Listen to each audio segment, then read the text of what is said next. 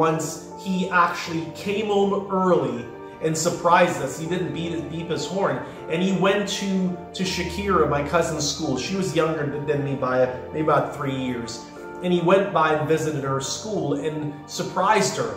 And she was just there being a kid, talking with her friends there. But when he saw her doing that, oh my goodness, so the minute she got home, he beat the living hell out of her. And then the, when we got home from school, he was bragging about how he caught her in school and that she was carrying on. And I bet you she'll never do that again.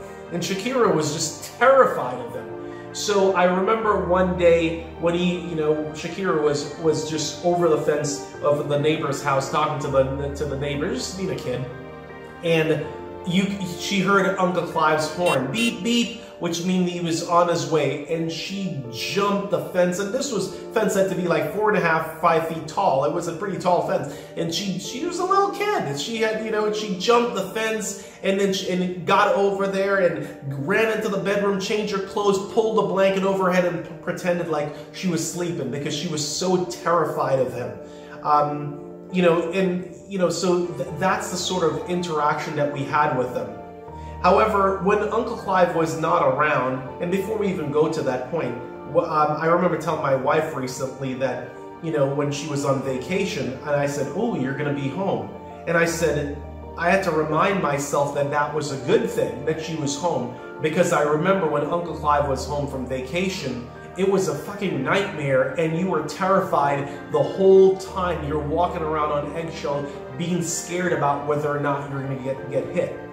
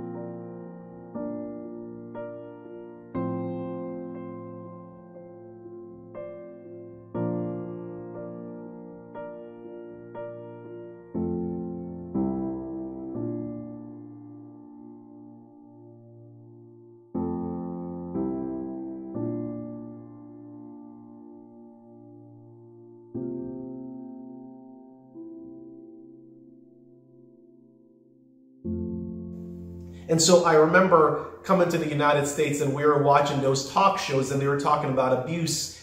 And uh, we were just looking at each other laughing because when we were listening to some of the what they were calling abuse, I'm like, you guys don't know what abuse is. I mean, this guy that we live with, Uncle Clive, was was an animal who just, you know, you'd have bruises on your body from just the brutalization that he did to us.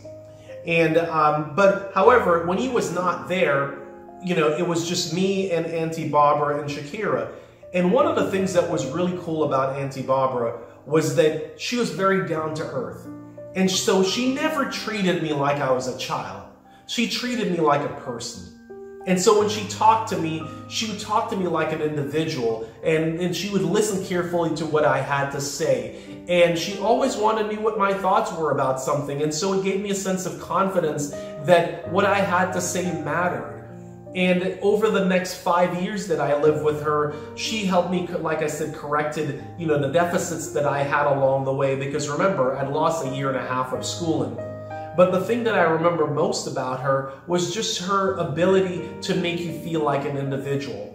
And she was so cool about it that years later, when Wayne finally came to and lived with us, you know, all the kids, Wayne was a very popular kid in school, and so he had a lot of friends, and the, his friends would come over the house to hang out with us. And they would love coming over. This was the house that all his friends would like to come like to come over and hang out because my aunt Barbara, we call her Auntie Barbara, was so laid back and cool about it. So they call her Auntie Barbara too.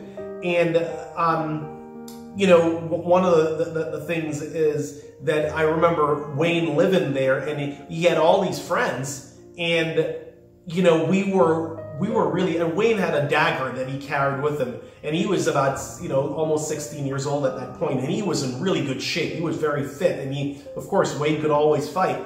And I remember we were all very nervous the entire time that we lived there with Wayne because we thought sooner or later him and Uncle Clive are going to get into it.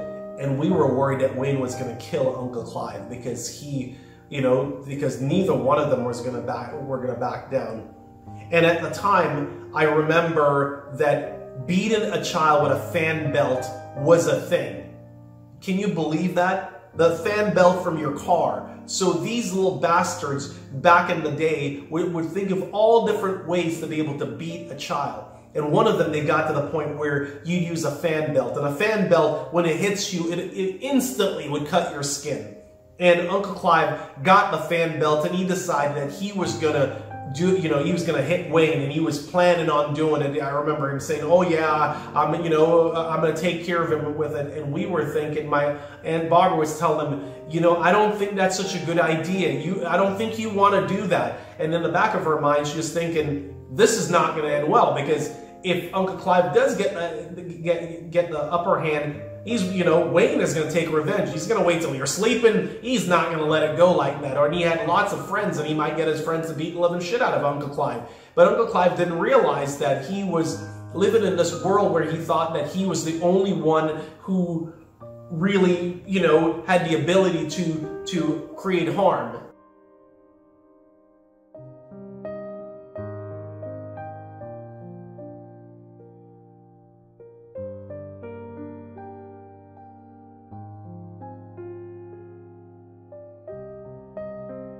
And so I remember him, you know, um, one day coming home, when we got home saying that he hit Wayne a couple of times with the fan belt, you know, and, you know, we talked to Wayne later and he was like, yeah, I took it, but, you know, and, um, you know, maybe someday Wayne will tell his story as well, but, but it, you can tell when he hit Wayne that it didn't, it wasn't a lot of hits and he thought about that maybe this was not a good idea. So I don't think he is he ever hit, I don't think he ever hit Wayne again ever after that. But that that that time was just a very painful, volatile time in our in our lives, in my life at least, that I remember. And one of the things I remember from that is is just being a, hating bullies, hating people who were in who thought that they had power over you, who could do harm to you. And I, and since that time, I actually literally fought the bully. I'll tell you the next story, stories that, that we'll have, but I fought the bully pretty much most of my life. I stood up for other people, um, you know, because of that interaction. In fact, I remember that one day, you know, he turned his abuse from us to start to beat on Auntie Barbara. And I remember saying to him, I said, you know, they were talking, and I said, well, you didn't have to hit her. And of course, when he did that, when I said that, he reached over for something that, that was there, like a figurine. And by the time he turned around, I ran out the door and jumped the fence. And man, I didn't know that that guy could move that fast. He threw that thing. He almost could have killed me with that thing, but I jumped the fence onto the other side.